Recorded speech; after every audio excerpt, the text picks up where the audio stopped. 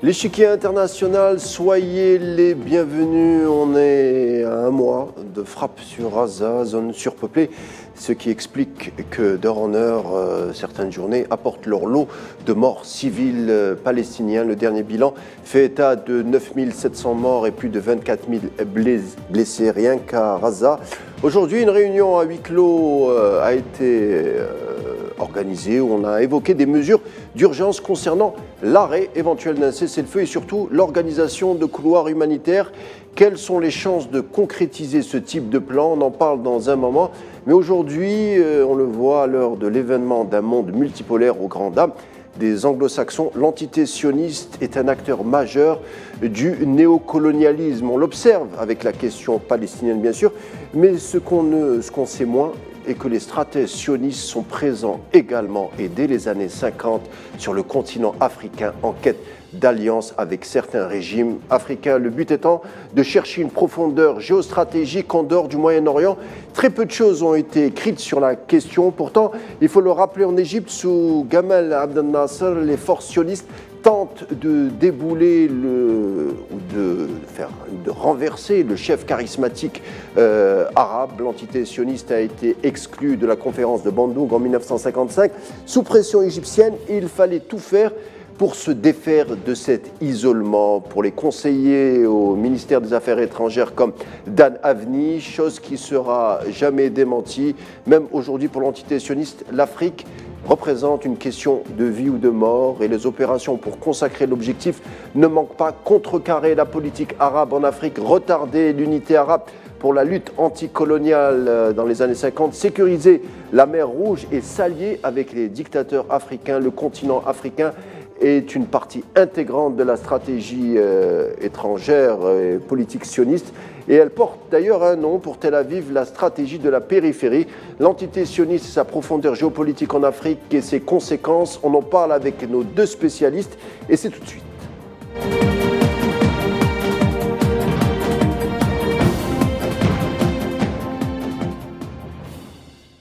Le pacte périphérique, euh, c'est-à-dire la stratégie sioniste qui consiste à nouer des alliances avec les nations non arabes euh, en Afrique, les sionistes s'intéressent de près à des pays comme l'Éthiopie, l'Ouganda, la Sierra Leone ou encore L'Afrique du Sud, euh, comme on vient de le dire, il faut savoir aussi que l'entité sioniste est préoccupée, et ça nous intéresserait nous, Algériens, est préoccupée par le FLN révolutionnaire dès les années 50, qui a voulu, euh, qui a réussi à se défaire du colonialisme. Le sioniste qui sera chargé du dossier d'ailleurs pour freiner les velléités du FLN, le responsable de, cette, euh, de ce plan est un certain David Kimch, alias David Sharon, mais ceci est une autre histoire qui, mériterait un numéro à lui tout seul. Alors le et l'Afrique. On en parle avec nos deux intervenants du jour. Tout d'abord, François Dengoué, spécialiste de l'Afrique. Bonsoir. Bonsoir et bonsoir à, vous et bonsoir à tous les téléspectateurs d'AL 24. Bienvenue, vous interviendrez à partir de Washington et merci d'avoir accepté notre invitation. Vous serez accompagné, nous serons accompagnés également euh, de Patrick Mbeko, politologue, spécialiste également des, des enjeux des enjeux pardon, africains. Merci d'être présent, Patrick. Merci à vous pour l'invitation. C'est un plaisir. Alors, Patrick Mbeko, commençons par vous. Euh, on le disait, les bombardements de Raza euh, ont commencé il y a un mois, on frôle les 10 euh, 000 morts. Comment est perçu ce drame à travers les médias canadiens, puisque vous intervenez à, partir de Montréal? Ben, il faut dire que la plupart des médias canadiens sont quand même alignés sur la position d'Israël et dans une certaine mesure sur les positions américaines, parce qu'il faut quand même rappeler que le Canada est un allié important des États-Unis, mais aussi d'Israël. Nous sommes membres des Five Eyes, donc ce groupe euh, de cinq pays anglo-saxons euh, qui échangent sur les questions de sécurité et de défense, même sur les grands enjeux mondiaux. Et donc au niveau des médias canadiens, il y a une forme d'alignement euh, sur les positions euh, israéliennes et dans une certaine mesure américaine.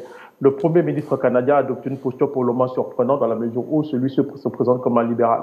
Et donc au niveau médiatique, tout de même, on a aussi observé euh, une évolution dans le traitement de la question parce que de plus en plus de médias à travers le monde, y compris les médias qui sont foncièrement pro-israéliens, qui commencent à relever quand même les crimes de guerre et les crimes contre l'humanité qui sont perpétrés à Gaza. Mais encore faut-il euh, souligner qu'il y a une forme d'euphémisme dans la description dans la, euh, dans la description des faits sur le terrain. Donc, en gros, c'est ce, ce que j'ai pu observer au niveau canadien dans la couverture médiatique de ce qui se passe en Gaza.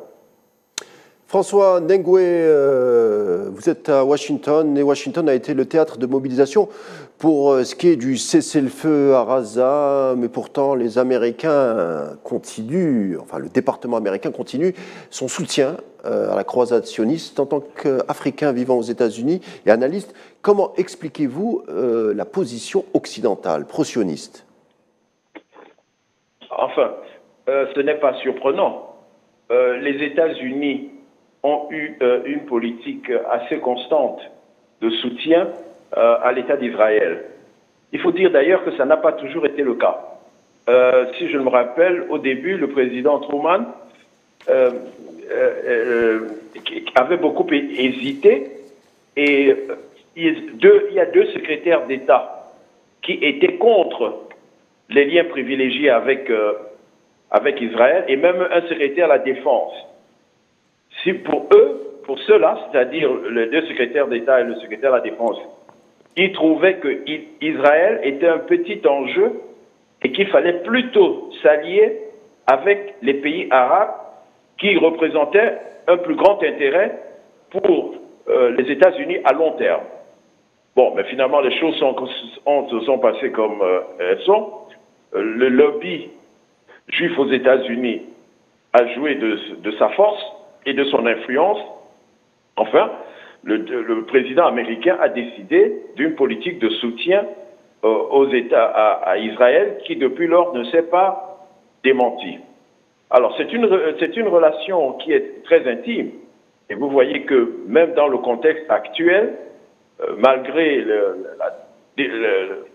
la, grande manifestation qui a eu lieu, malgré euh, les bombardements israéliens, vous avez vu que le gouvernement américain a tout de suite envoyé des porte-avions sur place pour renforcer son soutien. Et je ne crois pas que ce soutien va se démentir. Alors la question qu'il faut se poser, mais euh, que fait en place, en face, les pays dits du monde arabe? Et je crois qu'il y a il faut se regarder en face. Euh, les pays du, arabes doivent se poser des questions eux-mêmes. Pourquoi ce choix américain n'influencent pas leur politique et pourquoi être aussi des alliés, euh, des alliés américains parce qu'ils le sont. Les États-Unis ont des bases militaires importantes dans la plupart de ces pays arabes. Alors, est-ce que ces pays arabes ont abandonné et ont trahi la cause de la Palestine? Parce qu'il faut être franc et, parler euh, et voir les choses comme, comme elles sont. Ou ces pays arabes ne sont pas en phase avec euh, ce qu'on appelle couramment la rue arabe, qui est plus pro-palestinienne que la plupart de, ces gouvernements euh, arabes eux-mêmes. Donc c'est des questions qu'il faut observer et analyser euh, assez finement et surtout parler franchement. Alors, notre euh, sujet du jour, l'Afrique et la question palestinienne et le sionisme, on va en parler, mais avant, pour euh, davantage nous familiariser avec euh, ce thème, je vous laisse avec cet extrait d'un grand dirigeant africain qui évoque justement la question palestinienne à la tribune euh, onusienne. On écoute et on revient juste après. Les Palestiniens rappellent à chaque conscience humaine la nécessité et l'obligation morale de respecter les droits d'un peuple.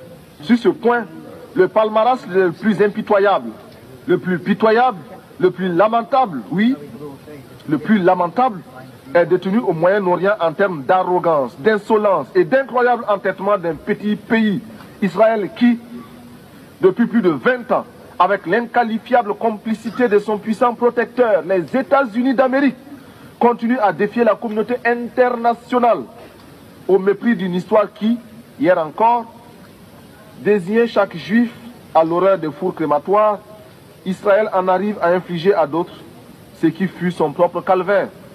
Pour l'heure, nous tenons à affirmer, du haut de cette tribune, notre solidarité militante et agissante à l'endroit des combattants, femmes et hommes de ce peuple merveilleux de la Palestine, parce que nous savons qu'il n'y a pas de souffrance sans fin. Patrick Mbeko, vous l'avez reconnu comme moi, Thomas Sankara, euh, homme d'État et surtout révolutionnaire euh, africain. Euh, un discours dont on a l'impression qu'il a été prononcé aujourd'hui Il faut dire que pour euh, beaucoup de pays africains, euh, la question palestinienne a toujours été euh, l'élément central dans l'appréciation des relations avec l'État d'Israël. En tout cas, depuis la période des indépendances jusqu'à ce jour, et on l'observe même quand on analyse la posture de certains pays, nous allons sûrement y revenir, mais quand on analyse la posture, la posture pardon, de certains pays du continent vis-à-vis de ce qui se passe aujourd'hui, on voit bien que la question palestinienne reste centrale dans l'appréciation de la question euh, du conflit qui oppose aujourd'hui Israël. Bon, moi, je ne suis pas, moi, je excusez-moi, mais il n'y a pas de conflit de mon point de vue entre Israël et le Hamas parce que le, n'ont pas euh, le même, il y a une disproportion au niveau de la force. Donc, on ne peut pas dire qu'il y a un conflit ouvert entre Israël et Hamas. Il y a un conflit permanent à bas bruit entre Israël et le peuple palestinien dont le Hamas semble incarner une, forme, certaine forme de résistance aux yeux de beaucoup, y compris sur le continent africain, où on ne reconnaît pas le Hamas comme étant euh, un groupe terroriste. Donc, pour revenir à la question, il est essentiel de garder à l'esprit que pour beaucoup d'Africains, surtout au niveau de l'Afrique subsaharienne, mais je crois en tout cas c'est dans, dans, tout le continent, l'appréciation de la question euh, du conflit israélo-palestinien s'articule principalement autour de la question palestinienne et beaucoup de chefs d'État l'ont relevé, y compris d'ailleurs tout récemment euh, l'Union africaine après les événements du 7 octobre dernier. François Dengoué, euh, vous êtes d'accord avec ce qui vient d'être dit Est-ce que la question palestinienne est toujours euh, vivace dans la conscience africaine Ou plutôt, euh, on a l'impression que cette question, avec, le, recours, avec, avec le, pragmatisme, avec le monde multipolaire, avec aussi les mouvements qui modernisent un tout petit peu l'Afrique, est-ce qu'on a l'impression que la question africaine s'est un peu perdue dans le temps? Qu'en pensez-vous? Non. vous pouvez être certain que les pays africains, euh, comme on dit couramment les pays d'Afrique au sud du Sahara, ont été souvent les plus grands défenseurs de la cause palestinienne, et souvent, à l'exception peut-être de l'Algérie qui a une constance là-dessus, euh, les pays africains sont à la pointe de la défense de, de la cause palestinienne, parce qu'eux, ils ont souffert aussi, ils connaissent très très bien ce que c'est que la colonisation. Je peux vous donner un exemple. Aujourd'hui, comme hier, le plus grand défenseur sur tout le continent de la cause palestinienne, c'est euh, l'Afrique du Sud. L'Afrique du Sud, bien sûr. la, déléguée de l'Afrique du Sud aux Nations Unies a parlé de génocide, de ce qui est en train de se passer, et, elle a demandé qu'il y ait la Cour pénale internationale intervienne. Donc je ne, je ne connais pas d'autres dirigeants africains qui a fait des déclarations aussi importantes. Euh, la ministre des Affaires étrangères est intervenue dans le même sens et l'Afrique a gardé une relation et vous savez que pendant très longtemps, l'Afrique n'a pas eu de relation diplomatique avec euh, euh, Israël. Mais comme je disais tout à l'heure, ce qui est surprenant et ce qui est paradoxal, c'est que beaucoup de pays arabes, et il faudrait un jour que les, pays ou à majorité arabe se regardent en face, et ils choisissent, ou bien ils choisissent leur allégeance au gouvernement américain et accessoirement à Israël, ou bien ils se décident vraiment euh, d'avoir les moyens, de donner les moyens pour qu'on règle ce problème de façon juste. Euh, il ne s'agit pas d'écraser euh, Israël, il ne faut pas non plus écraser. Moi, je suis pour la justice. Tout ce qu'il faut, c'est qu'il y a eu des résolutions des Nations Unies qui attribuaient deux États pour l'instant, depuis 1914 mai 48, la création de l'État d'Israël, il n'y a qu'un seul État, et l'autre partie euh, souffre depuis cette date avec des, probablement le million de réfugiés, et même la petite partie de terre qui lui, était réservée est, grignotée tout le temps par la colonisation. Donc, l'Afrique regarde cela euh, avec un souhait que le problème se règle, et attend que euh, on elle n'attend pas seulement des grands de ce monde. C'est regrettable que l'Afrique ne se soit pas donné les moyens elle-même pour être une puissance et qu'un problème qui se pose à sa, à sa, à sa, à sa partie est, nord-est, tout de suite contigu au continent, euh, l'Afrique ne peut pas agir. Et enfin, je veux montrer un cas spécial qui est celui de l'Égypte.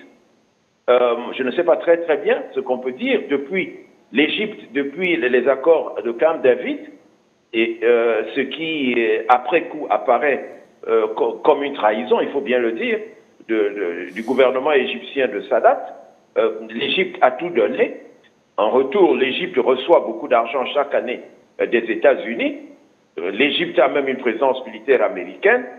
il faut que les choses soient claires pour que l'on ne, discute pas en l'air.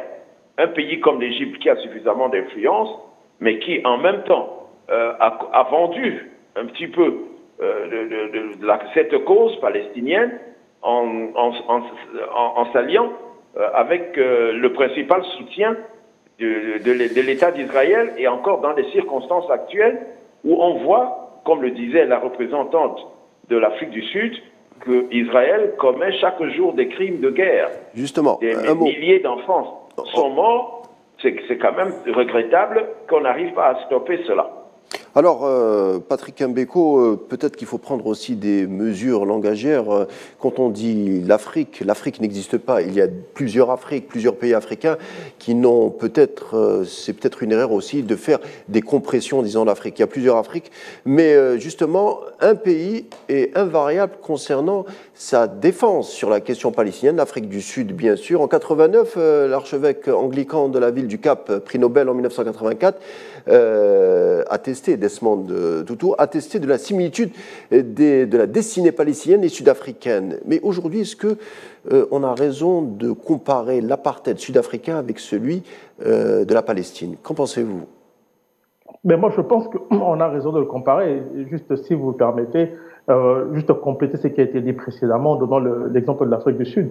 Vous savez, du, continent africain, qui faut-il le dire, l'Afrique est plurielle, bien entendu, le seul moment dans l'histoire du continent africain où on a pu observer un rapprochement important entre les pays du continent, euh, à l'exception de quelques-uns bien entendu, et l'État d'Israël, c'était au lendemain des indépendances, parce que justement Israël avait adopté une posture qui allait dans le sens, dans le sens anticolonial.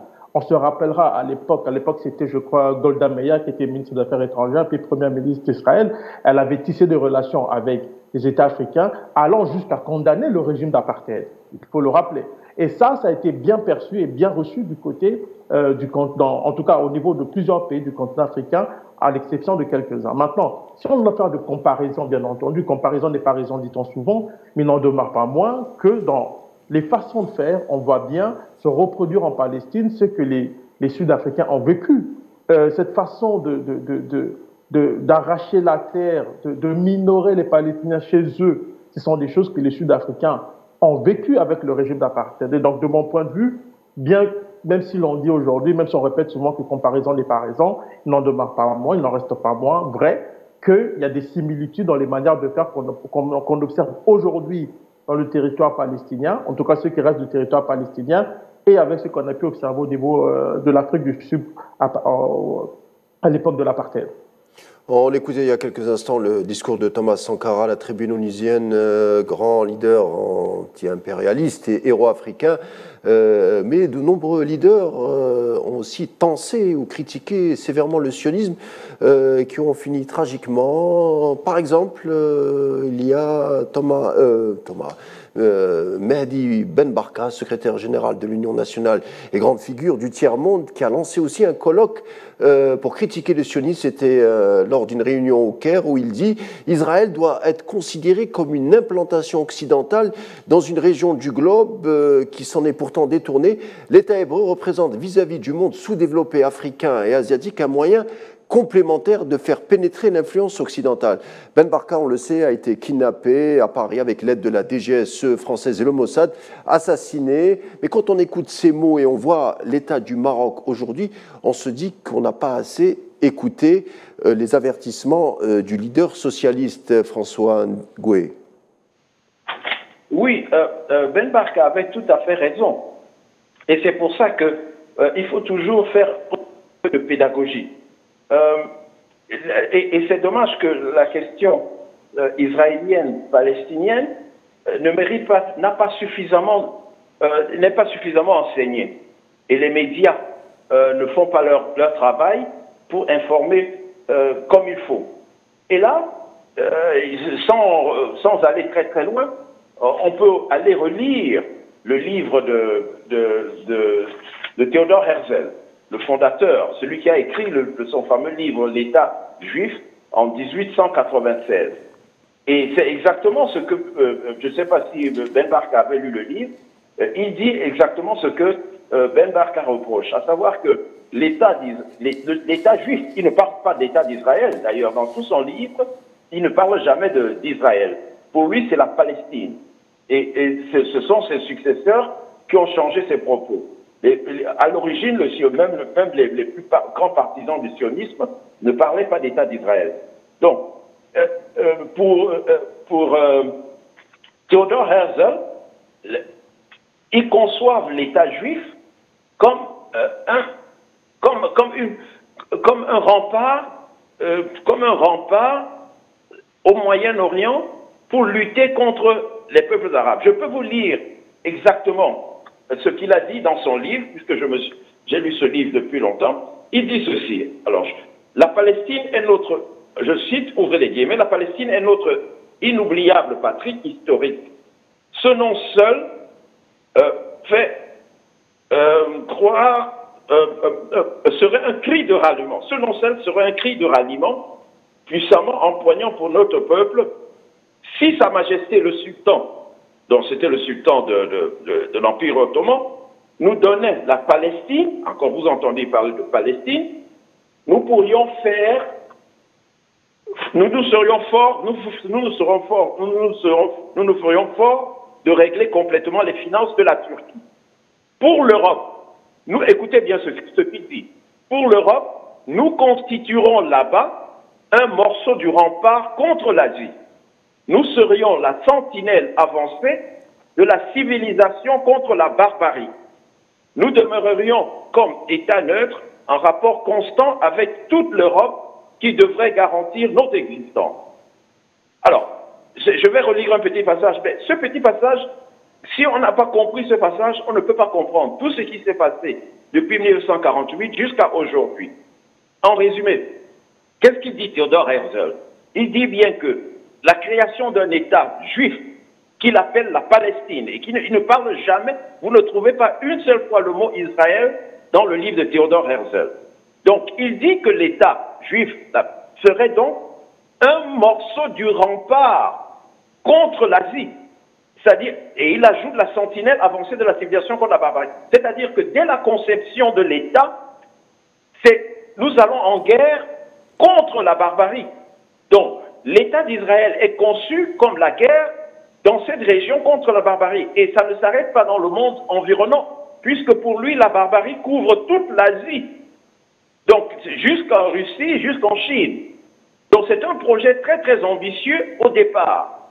Et puis, écoutez bien la façon dont il a terminé son propos. Il dit, euh, donc, nous demeurerions comme État neutre en rapport constant. Écoutez bien, constant avec toute l'Europe qui devrait garantir notre existence. Et c'est bien ce que l'on a jusqu'à aujourd'hui. Qui garantit l'existence d'Israël? L'Israël, à lui, à lui tout seul, c'est un tout petit pays qui n'est pas fiable et qui, euh, et qui dont l'assurance la, vie, c'est toute l'Europe et en particulier, et en plus, les, euh, dans tout, il écrit en 1896, donc toute l'Europe, et, et, les États-Unis, c'est une excroissance de l'Europe, et donc voilà, nous aurons une assurance vie garantie par les, ressources de ces pays qui vont nous permettre d'attaquer la barbarie. La barbarie était toute la région autour de, de, en, effet, en effet, François, en effet, François Ndengoué, c'est très intéressant ce que vous venez de soulever. On en parle euh, tout de suite après euh, cette euh, pause publicitaire. On revient dans quelques minutes. À tout de suite.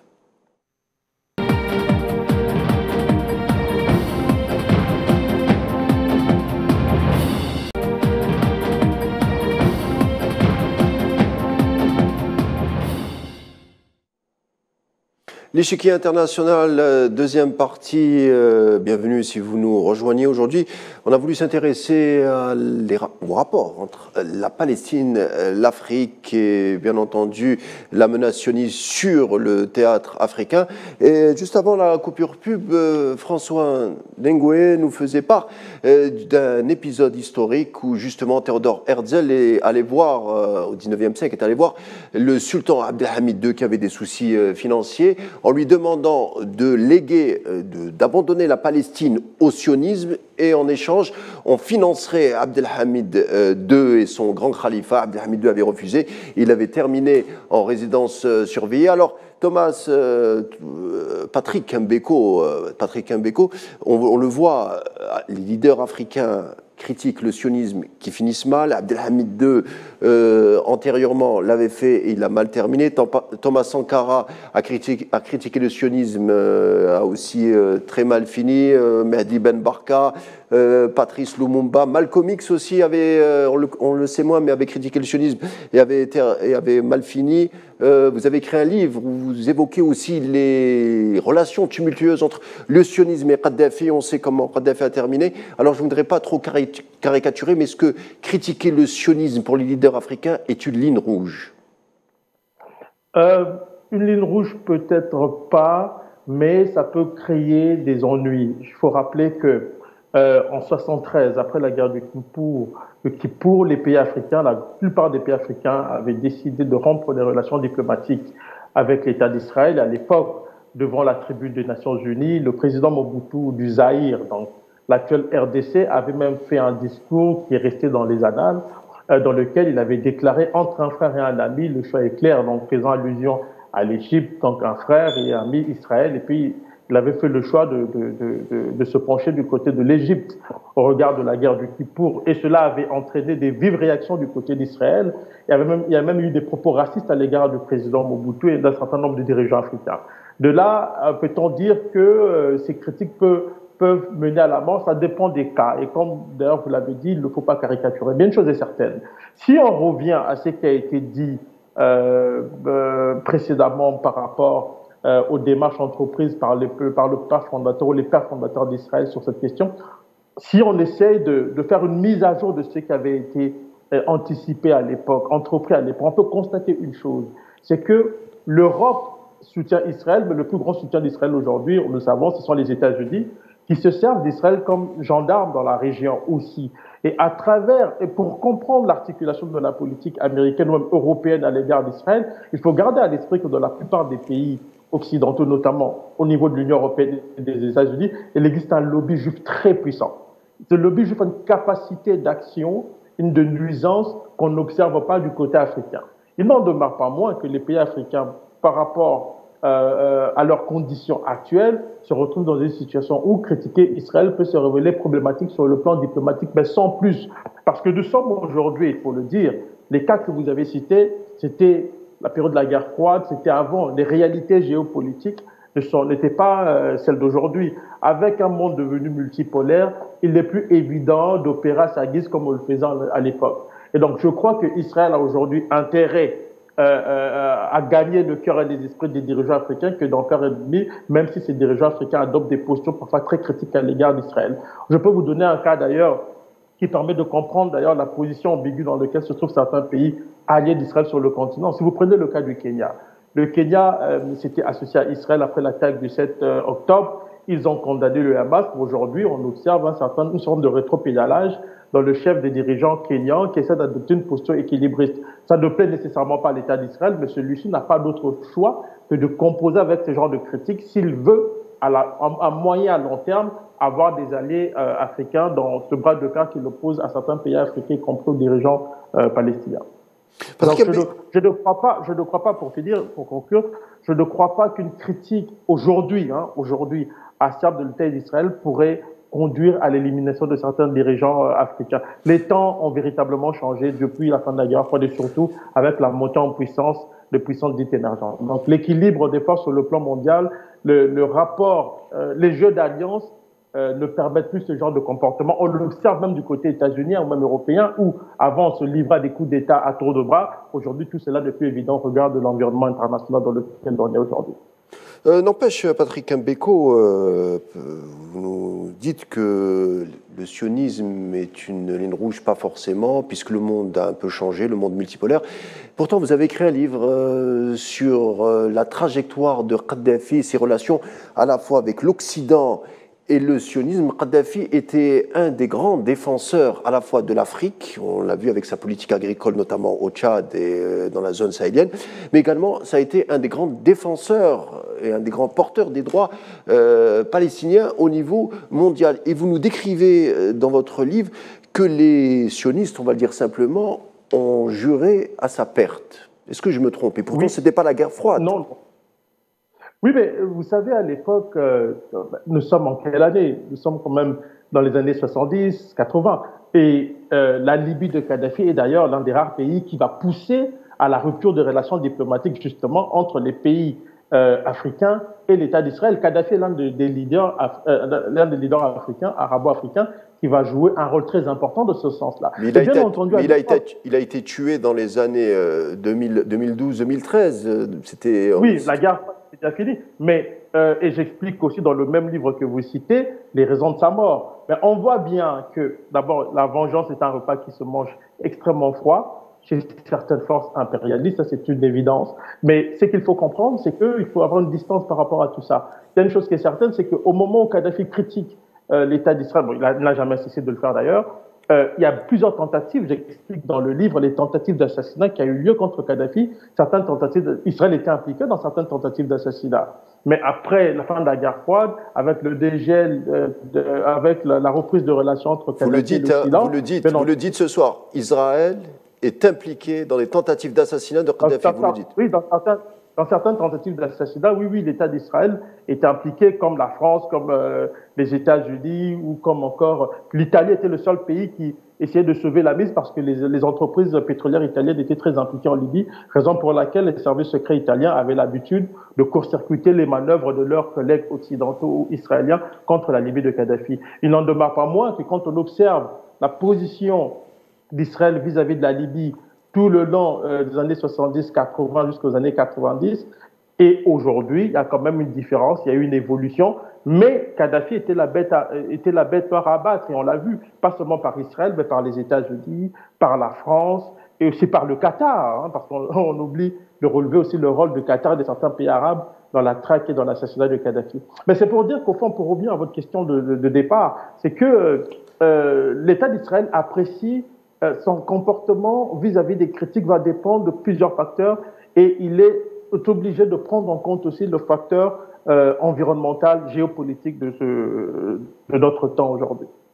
François Ndegwe, peut-être un mot sur euh, les relations tumultueuses entre Kadhafi et l'Occident et son, leur, leur soubresaut sioniste. Peut-être que vous avez des, choses à nous dire sur ce sujet non, non, surtout que euh, je ne vais pas revenir là-dessus, surtout que nous avons aujourd'hui une situation extrêmement dramatique. Euh, les énergies doivent être mobilisées pour qu'il y ait un cessez-le-feu et qu'on arrête de tuer les enfants. On en parlera, c'est autre chose, Monsieur Ngoué, mais je voulais vous parler de la situation libyenne aujourd'hui. Est-ce que Kadhafi gênait pour ses positions pro-palestiniennes? Ah, Évidemment, euh, Kadhafi, non seulement il ne pouvait, il gênait non seulement pour cela, il gênait aussi pour ses positions panafricanistes qui pouvaient être mobilisées euh, pour combattre euh, ce qu'on appelle couramment l'impérialisme. Euh, la deuxième partie de la vie de Kadhafi a été assez exemplaire. on a dit qu'on l'a aussi tué parce qu'il avait, il en idée des projets d'unification monétaire sur le continent. bon, mais tout ça, c'est à revoir. c'est quelqu'un qui a eu, pour ma part, je crois que pendant longtemps, dans la première partie de son existence, il n'a pas toujours été positif, même si sur le plan de, ses réalisations économiques et de, la souveraineté de la Libye, il a été un grand homme parce que dès qu'il est arrivé au pouvoir, il a pu nationaliser les, ressources, les ressources pétrolières que contrôlaient les Américains. Ça lui a valu des procès interminables. On ne lui a jamais pardonné cela. Mais au moment où on le tue, il a arrivé à faire de de la Libye, le pays qui avait le plus grand indice de développement dans toute l'Afrique, et l'indice de développement de la, euh, de, la Libye au moment où on attaque la Libye était même supérieur à celui de la Fédération de Russie. Et, si je ne me trompe, euh, j'avais contrôlé à l'époque, c'était même supérieur à celui de l'Arabie saoudite et même à celui du Brésil.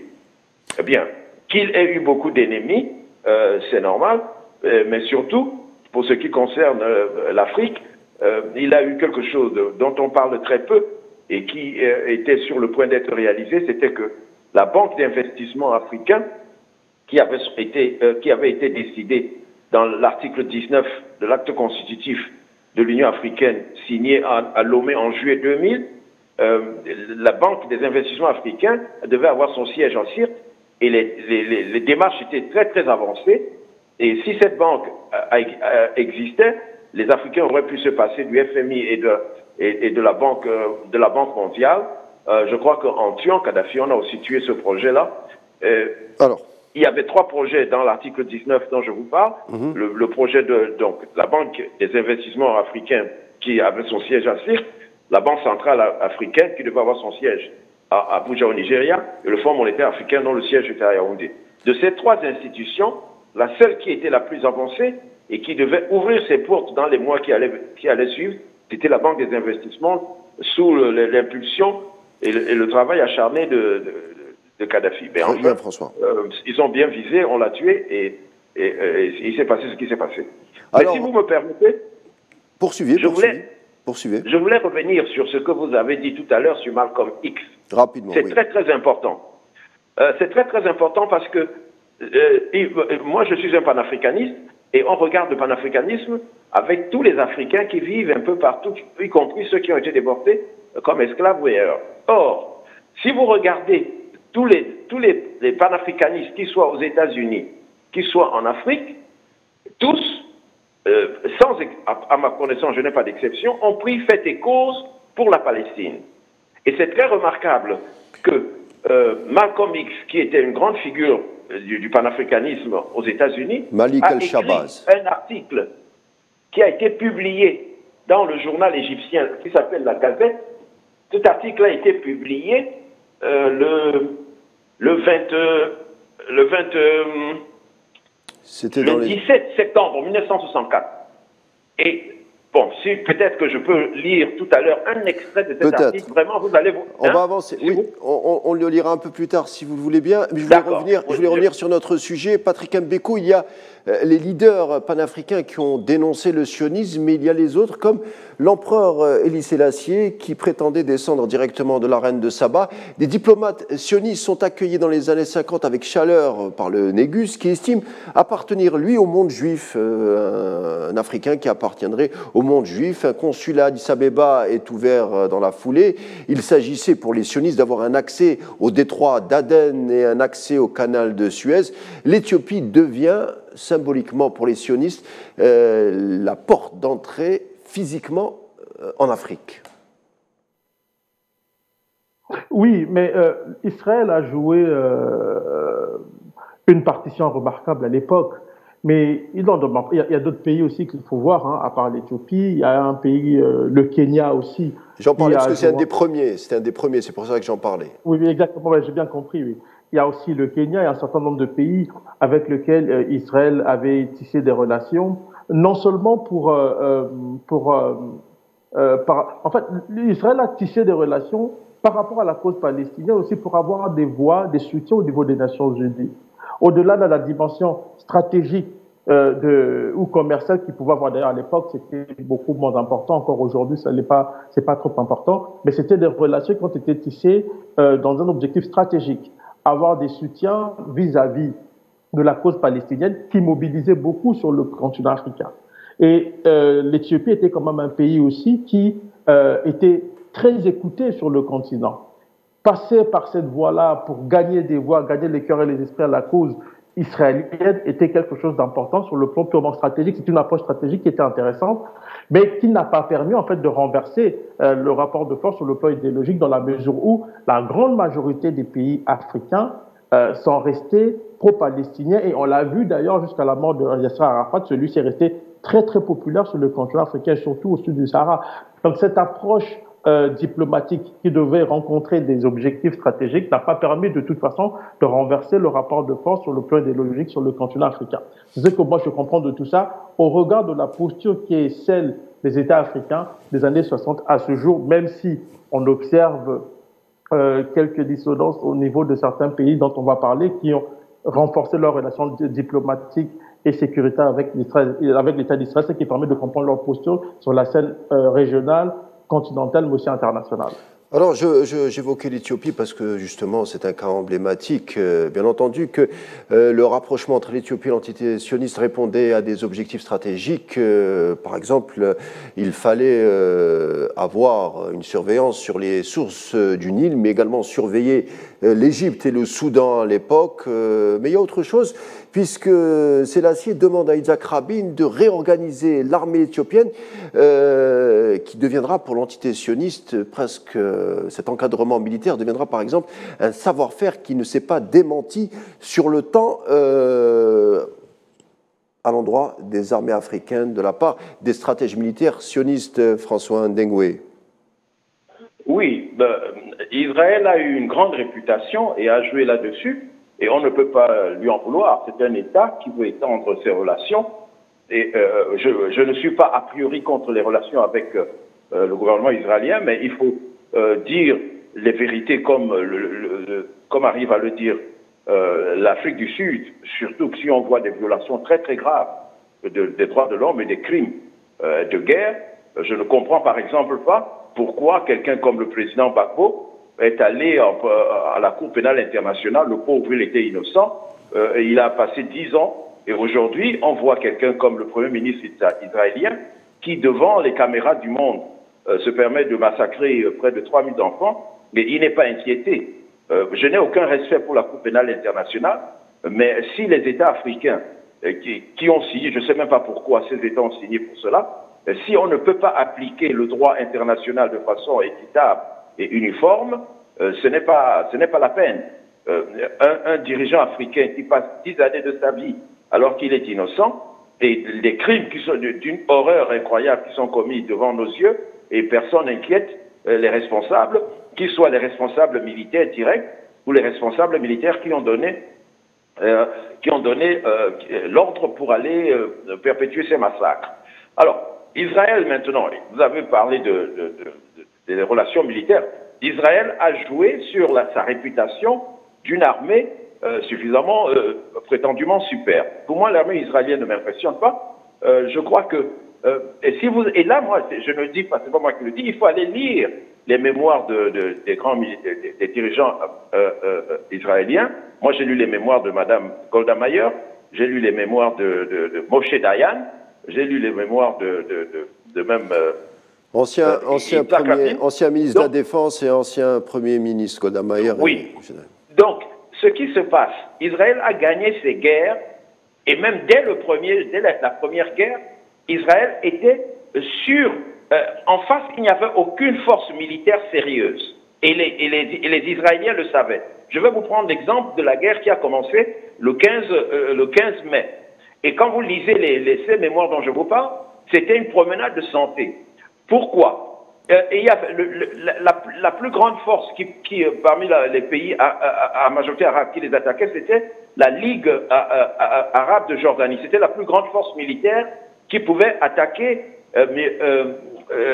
Israël.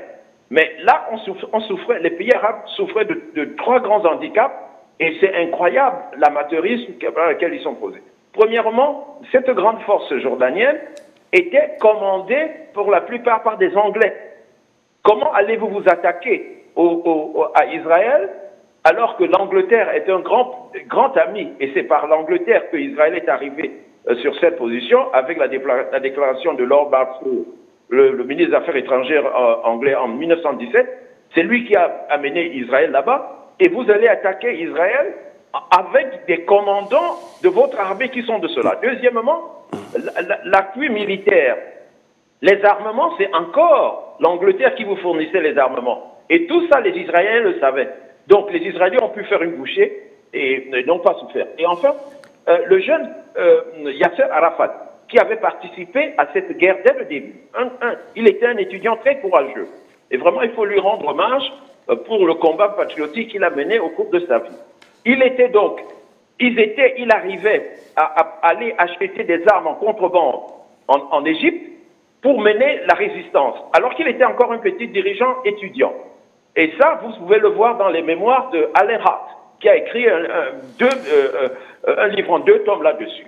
Et il raconte ceci, que Yasser Arafat était abasourdi parce que quand les armées arabes sont arrivées, eux, qui étaient les Palestiniens qui se battaient sur le terrain, la première chose que les, les militaires arabes sont venus et pour leur dire, on les a désarmés eux. Et Yasser Arafat raconte que c'était pour lui le premier signe de la trahison. Alors, donc vous voyez que l'armée israélienne a, une, réputation qui, à mon avis, est surfaite parce qu'elle n'a jamais affronté une vraie armée, il n'a jamais affronté des gens euh, à sa hauteur. Ils sont restés... Euh, si le champion du monde des poids lourds arrive à, frapper euh, le, champion des poids mouches, c'est pas ça. Mais ils, sont restés, ils sont restés, ils sont restés sur le mythe. Ils sont restés sur le mythe du succès euh, de la guerre de 1967, quand en l'espace d'une journée, ils avaient complètement, ils avaient détruit 90% de l'aviation égyptienne. Et ce mythe a survécu, mais euh, pas très longtemps, puisqu'on voit qu'avec le Hezbollah, même en 73, l'armée sioniste a eu beaucoup de mal à se défaire des armées arabes. Mais euh, Patrick Mbeko, je voudrais qu'on reste aussi sur ce sujet de la formation de soldats ou des militaires par les conseillers sionistes au Soudan dans les années 50 ou 60 avec la guerre civile. Les sionistes euh, conseillent euh, les rebelles du Sud-Soudan, mais aussi jouent la carte des musulmans contre les chrétiens.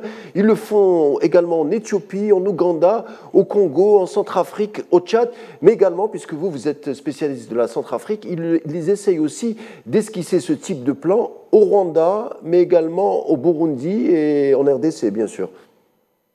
Oui, euh, Israël, par rapport à la puissance de son armée, elle est à relativiser. Et ceux qui disent que l'Israël est une armée très puissante, c'est d'abord les Occidentaux eux-mêmes.